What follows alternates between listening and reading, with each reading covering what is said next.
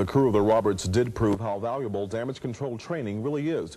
And during this year's Pacific Exercise 89, the question of how well a ship can sustain and survive damage in battle was tested with a new concept designed to enhance shipboard damage control. Petty Officer Cathy Hines has more.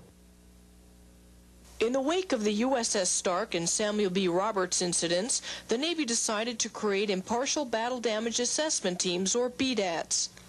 A BDAT would go on board a ship having damage and provide the battle group commander an objective report on whether that ship could still function as part of the battle force.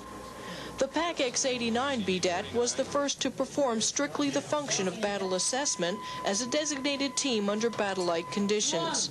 Using hovercraft, helicopters, Zodiac boats, and even a carrier catapult launch jumping from ship to ship in a two-week period, BDAT 89 made its way from Oakland, California to Adak, Alaska.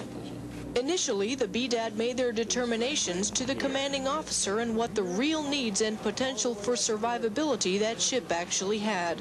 If the scenario called for an enemy weapon hit at a predetermined frame, SHIPDAM predicts the potential for fire and flooding and the number of dead and injured as if the ship had been manned at general quarters.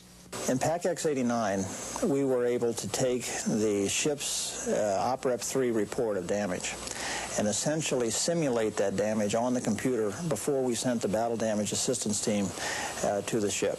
Once on the ship, the group determined which systems and vital components were in fact damaged. They also traced cables and wires leading from the impact area, often finding hidden damage not visible during the initial ship's assessment.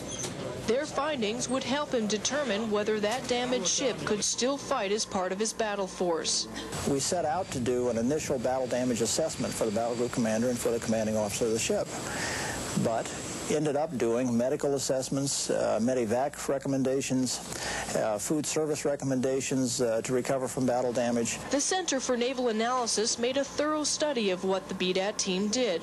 They've determined so far that there exists a strong need for an expeditionary repair group to repair combat systems at forward sites.